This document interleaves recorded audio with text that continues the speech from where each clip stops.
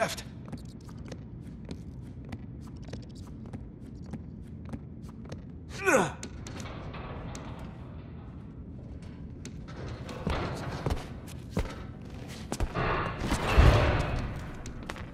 Das sollte klappen.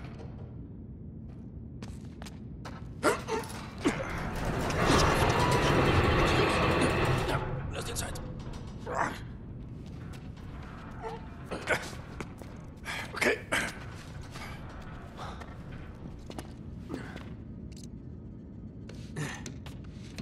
Wir sind durch.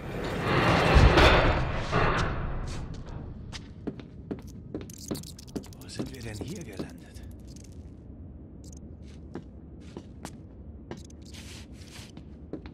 Oh shit, runter!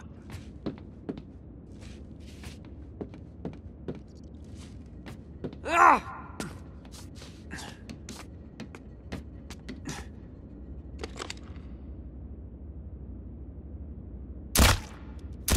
Ah! Spinnst du?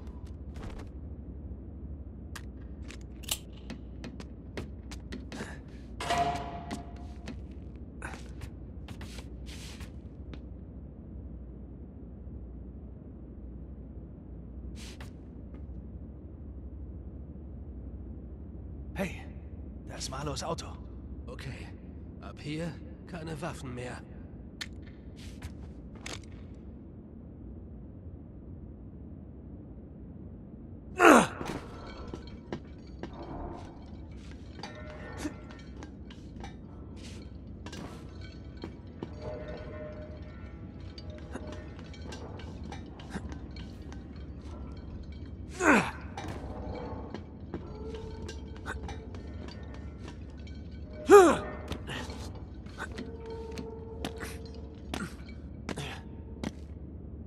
Hände hoch. Oh Mann, wir sind wohl irgendwo falsch abgebogen. Ja, ist das King's Cross?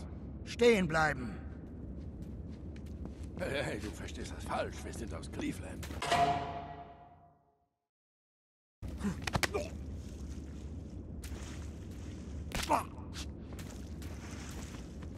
Oh, toll gemacht. Guter Junge.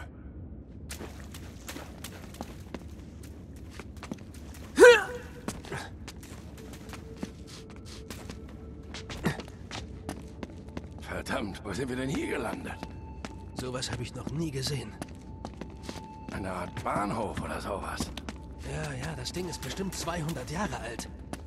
Mann, immer wenn man glaubt, seltsamer wird's nicht.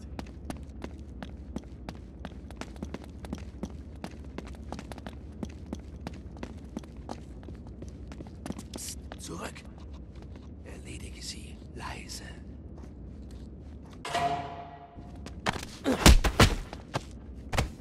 Gut gemacht, Jungs. Na los, wir sind sicher hier durch. Und es wird seltsamer. Wow, dieses Mauerwerk. Wahrscheinlich Tudor. 16. Jahrhundert.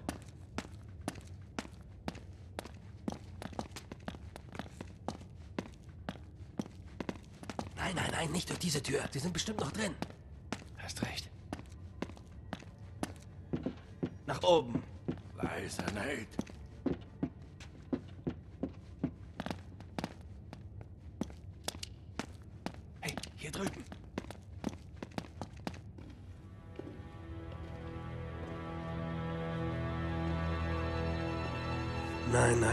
Im Ernst. Wer sind diese Leute? Ihre Entschuldigungen interessieren mich nicht. Er war ein Risiko und Sie wussten das. Ja, es ist bedauerlich. Nicht bedauerlich. Schlampig. Ihr Fehlurteil hätte uns alles kosten können. 400 Jahre der Suche. Endlich. Drakes Geheimnis wird enthüllt.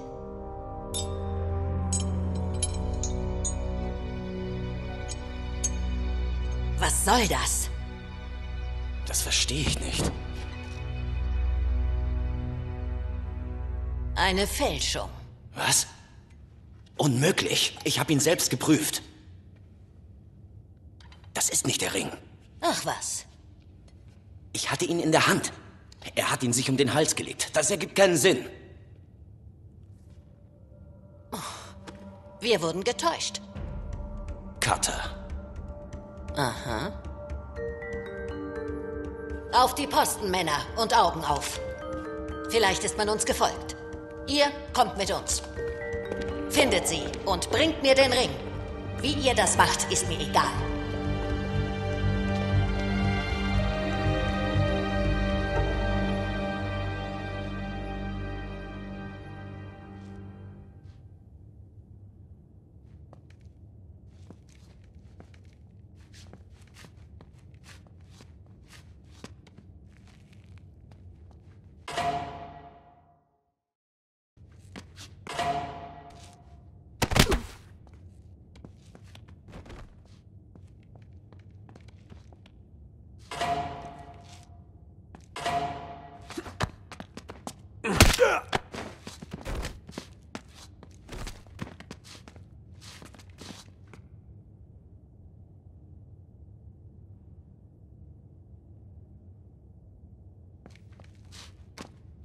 Na, die haben aber ordentlich was am Laufen hier.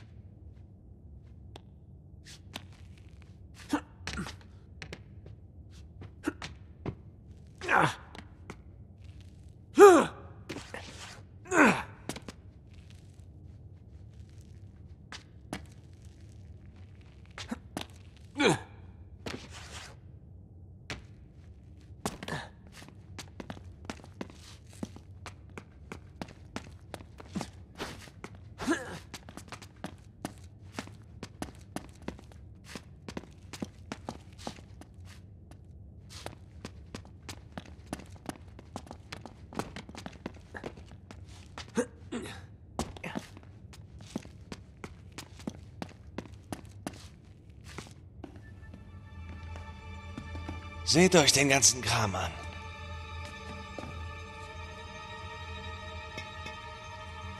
Bäh. Nate, komm schon. Wir haben keine Zeit für sowas. Ja. Ja.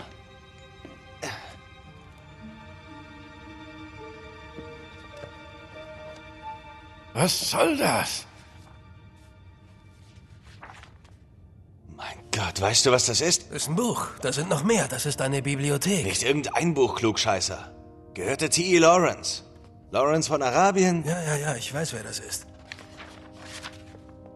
verschickt aus Dorset, genau an dem Tag seines Motorradunfalls. 13. Mai 1935. Sie haben ihn getötet, als Sie es hatten. Sie? Ja, sie. Sie. Die, wer immer diese Leute sind. Ach komm, was für ein Unsinn. Das war ein Unfall. Ein schwarzes Auto soll ihn abgedrängt haben. Leute. Oh, dann war das also eine Verschwörung. Vielleicht. Nate, Was? das Ding, darauf hast du 20 Jahre gewartet. Klar.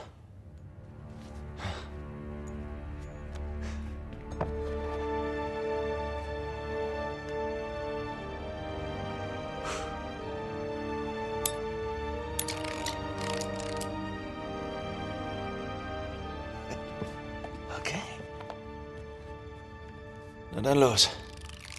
L. O. H. D. N. Was denn? Oh, das heißt Long Hidden. Was? Wirklich? Long Hidden soll das ein Witz sein? Sei mir nicht böse, Mann, aber dein Vorfahr war ein verdammtes Arschloch. Halt die Klappe. Es ist ein Anagramm. Golden Hind. Die Golden Hind. Drakes Schiff. Ja. Ein Hinweis. Irgendwas ist versteckt in diesem Raum. Verteilen wir uns. Wir müssen es finden.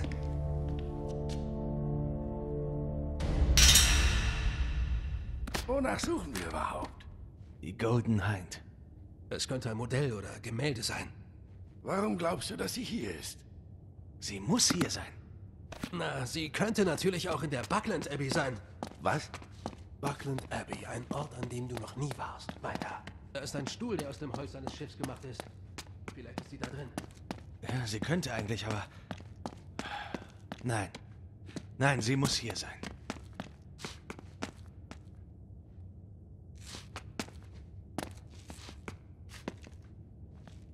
Dieser Ort ist der Wahnsinn. Das Zeug hier muss ein Vermögen wert sein.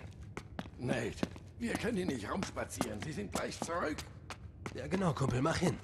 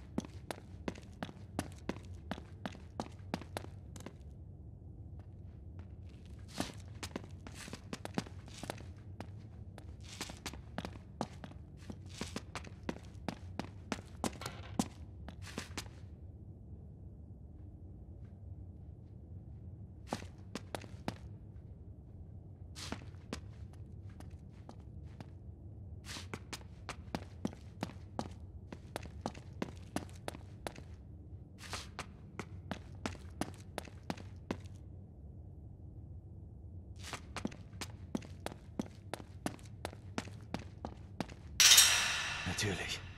Da ist sie. Ich hab sie. Wo? Da oben. Die Galionsfigur von Drakes Schiff.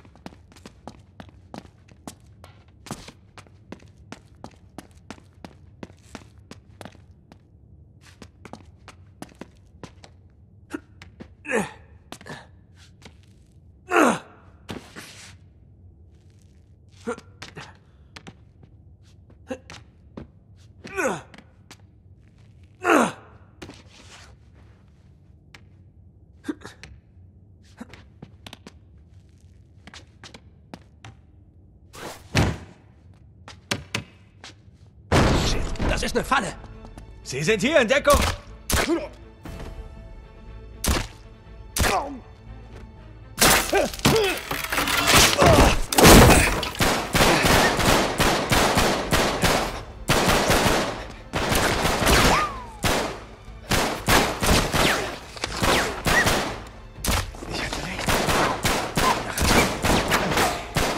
Wir könnten hier Hilfe brauchen. Na los, Ned, komm schon! Was zur Hölle machst du? Das Buch und dechiffriert es! Los, los! Uns geht die Munition aus. Nehmt ihre Waffen!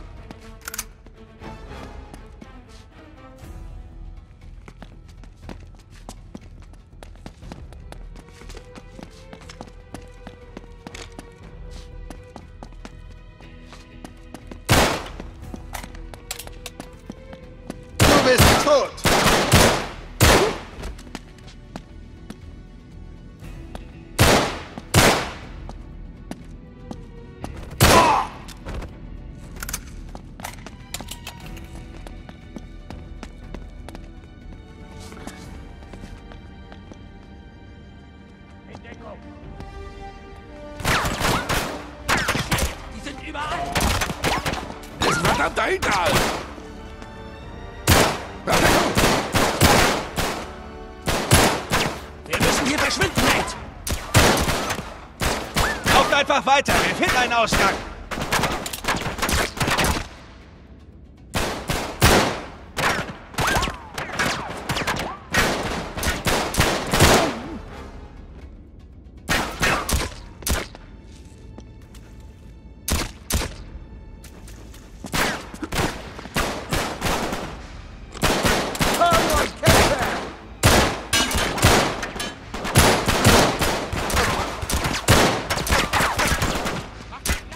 Okay.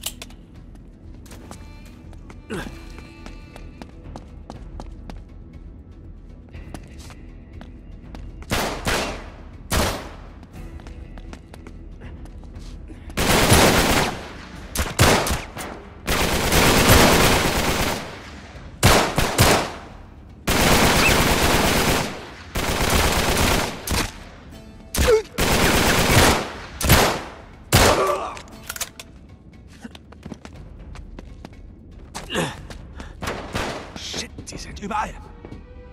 Na los, wir müssen weiter. Vorsicht, Nate, die lauern hier überall!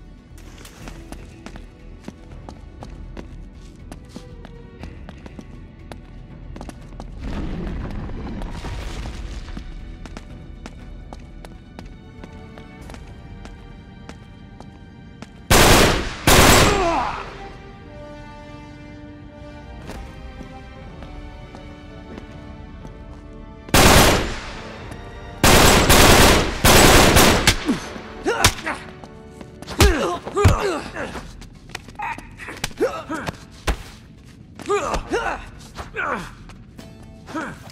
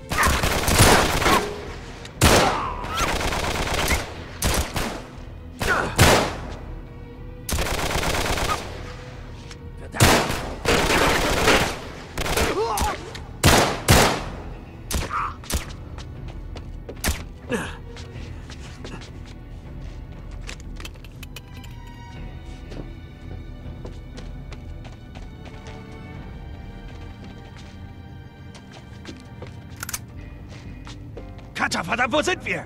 Am Bahnhof North Edward, los!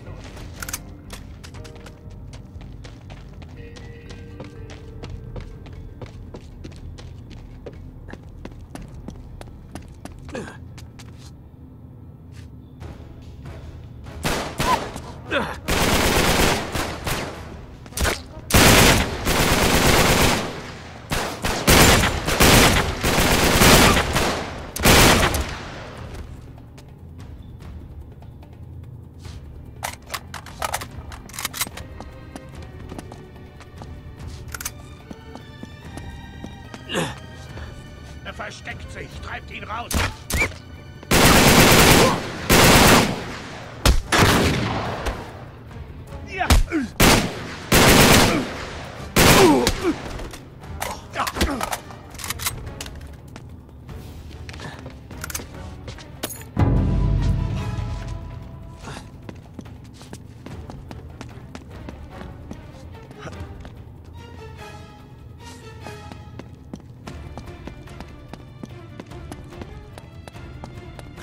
Hörst du mich?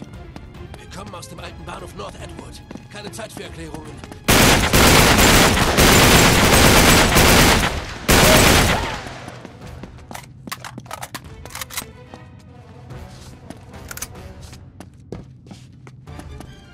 Na gut.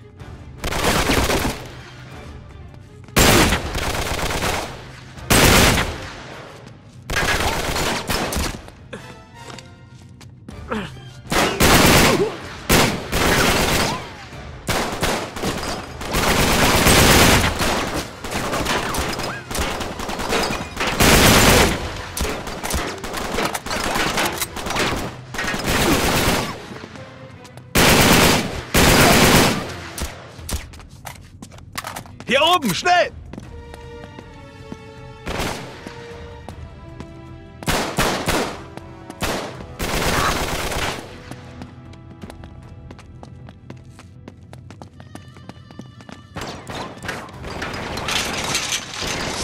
Die verdammte Ratten! Halt Schloss!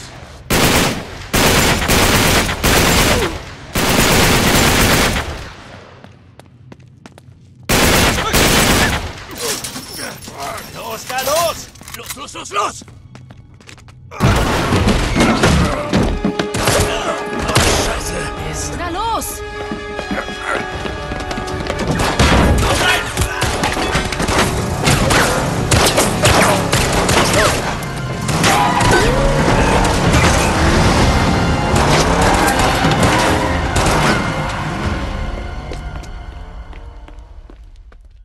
Und da sagt der Kerl, Bohnen und Speck, oh verdammt, hoffentlich halten's die Hosen aus. Cheers. Auf unseren Erfolg. Oh ja. Kommst du nicht zu uns, Herzchen? Ja. Ja. Die Karte ist der Beweis. Drake ist nicht sechs Monate durch Ostindien gegurkt. Er ist direkt nach Arabien gesegelt. Okay. Aber jetzt wird's interessant. Seht ihr das hier? Das ist John Dees Unterschrift. Wer zum Teufel ist John Dee? John Dee. Einer der engsten Berater von Queen Elizabeth. Das weiß doch jeder. Ja, ja, er war Mathematiker und Navigator. Seiner Zeit weit voraus. Er hat das hier wahrscheinlich erfunden. Der stand voll auf okkulten Kram. Und zwar das richtig Hier, widerliche er hat Zeug. alle seine Briefe an die Queen so unterschrieben. Er war ihre Augen. Der erste 007, seht ihr? 007. Miss Moneypenny. Also war es John Dee, der Drake nach Arabien geschickt hat. Ja, sieht ganz so aus. Die und Elizabeth. Und Walsingham. Toll, aber äh, warum? Das wäre dann die Millionenfrage, was? Hier kommt T.E. Lawrence ins Spiel. Denn bevor Lawrence zu Lawrence von Arabien wurde, Klasse Film. war er Archäologe. Schon als Kind war er von Geschichte fasziniert, vor allem von Rittern und den Kreuzzügen. Er ist überall gewesen und hat alle Kreuzritterorte dokumentiert. Hier steht alles drin. Okay, also ich verstehe nur Bahnhof. Was zum Teufel hat das mit Drake zu tun? Wart's doch mal ab. Nach dem Krieg hat Lawrence gesagt, dass er nur nach Arabien zurückkehren würde, um einen Ort namens Atlantis der Wüste zu suchen. Die Legende taucht immer wieder unter verschiedenen Namen auf. Ubar, die verschollene Stadt Iram, die Messingstadt. Die Geschichte ist aber immer dieselbe. Oh, Stadt des grenzenlosen Reichtums. Für ihre Arroganz von Gott zerstört. Für immer vergraben im Sand der Rub al-Khali-Wüste. Genau hier. Ja. Also das mit dem grenzenlosen Reichtum klingt gut. Und du meinst, Elizabeth und die haben Drake hingeschickt. Oh ja. Noch wichtiger ist, dass Marlow danach sucht. Also, warte. Wenn Drake von der Queen beauftragt wurde, diesen Ort zu finden, wieso die Geheimhaltung? Es sieht doch so aus, als habe er alles daran gesetzt, sämtliche Funde zu verstecken. Und das sogar vor ihrer Majestät. Ich weiß nicht. Oh, sorry, äh, was war das? Halt, warte mal einen Moment. Falls du dich erinnerst, als wir das letzte Mal um die halbe Welt gereist sind, um eine verschollene Stadt zu finden, wurde es ziemlich brenzlig. Ja, aber diesmal sind wir im Vorteil. Ich meine, Drake wusste nur die eine Hälfte und Lawrence die andere. Wir wissen alles. Und Marlow weiß gar nichts. Gibt nur ein Problem. Die Rub al-Khali-Wüste. 600 Meilen Durchmesser. Sogar die Beduinen laufen außenrum. Und selbst wenn wir wüssten, wo sie ist, was nicht der Fall ist, würden wir sterben, bevor wir sie Jetzt finden. mal langsam. Seht ihr die Symbole hier? Sieht Das sabäisch ist aus. Sabäisch. Genau. Die Kreuzritter haben vor tausend Jahren nach der gleichen verschollenen Stadt gesucht. Von allen Orten, die Lawrence dokumentiert hat, sind nur zwei mit diesen Symbolen markiert. Einer in Syrien, der andere in Frankreich. Oh, Nein, ihr zwei geht nach Syrien, wir nach Frankreich. Wenn wir diesen Hinweisen folgen, finden wir Lawrence verschollene Stadt. Das weiß ich. Und was dann? Wie kommen wir durch eine 600 Meilen lange glühend heiße Wüste? Sie liegt in der Mitte der Wüste. Also eigentlich sind's nur 300 Meilen. oh. Ach, keine Ahnung, wir kriegen das hin. Kommt Zeit, kommt Rat. Ganz einfach, was? Genau. Was sagt ihr? Ach, was soll's. Bin dabei.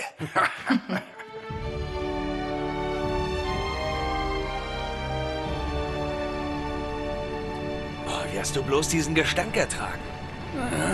Man gewöhnt sich dran. Wie an alles.